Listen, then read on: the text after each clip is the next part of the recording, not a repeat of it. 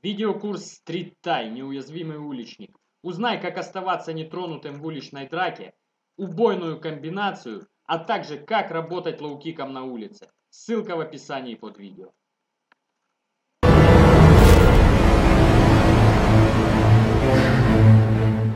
Итак, приступаем к комбинациям. Я тебе покажу несколько хороших комбинаций и покажу, в каких вариантах их лучше всего применять. То есть, где они будут наиболее эффективные, наиболее практичные.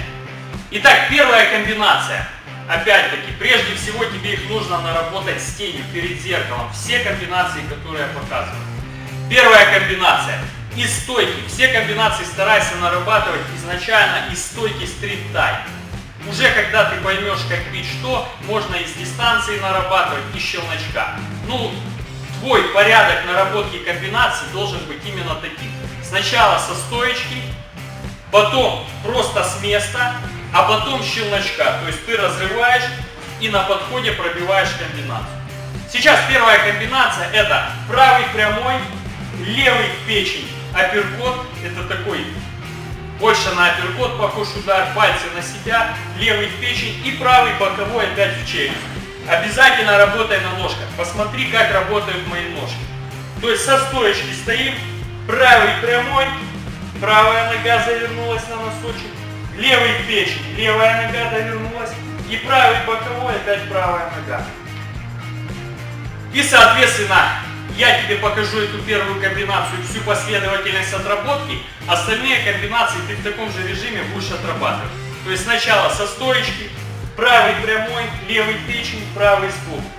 Затем просто с полуопущенных рук, скажем так, правый прямой, левый в печень, правый стул. И затем щелночка. То есть отскочил и на сближении сразу правый прямой, левый в печень, правый стул. Такая работа. Раз, там, там, там. Старайся наработать их довольно быстро, но технически правильно. Итак, эту комбинацию лучше всего применять от правого прямого. Когда габыла стоит, очень часто бьют такие полубоксеры, назовем их так. Это супер бойцы, я их называю, у которых за плечами там 3-6 месяцев суровой школы бокса, где они получили по носу и больше туда не ходят, но правый прямой они все научились бить, поэтому у них уже не любимый уличный удар от жопы да, а у них уже, как они думают, четко поставленный правый прямой в город. Вот от этого правого прямого мы и будем работать. Конечно, им можно работать и от бокового, и от жопы, то есть от любого удара правой рукой желательно. То есть мы стоим в стоечке, противник начинает правый прямой, мы отсюда делаем уклончик и одновременно нашей свободной нижней правой рукой бьем правый прямой в челюсть.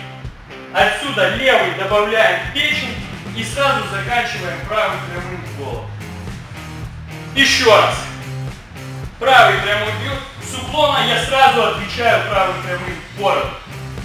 Левый печень и правый боковой опять-таки в бороду. Если эта комбинация проходит, то она может закончиться первым ударом. Вот правый прямой навстречу, это будет первый и последний удар для решения любого вопроса. Если ты четко попадаешь в бороду навстречу, противник падает. В основном любой. Даже если у тебя такой себе удар, скажем так. Но если ты его наработаешь на мешочке, то будь уверен, что он даст результат. Еще раз.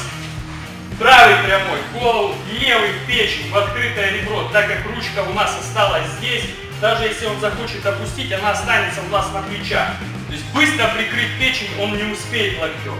Отсюда мы добавляем. И соответственно, когда он уже подсел, мы сразу отсюда правым боковым, правым боковым дорабатываем. И еще последний раз. Правый прямой, левый печень, правый сбоку. То есть этого будет достаточно. Если дистанция очень короткая, например, он правым прямым пробил, да, и на меня лег. Отсюда я чуть-чуть в печень, и отсюда мне более удобно ударить не боковым, а более удобно как-то ему тыкнуть просто локоть. Просто секущий локоть. Я могу правой рукой немножко поднять голову, отдавить и отсюда сразу добавить локоть. Или в бороду, или в глаз. Как получится.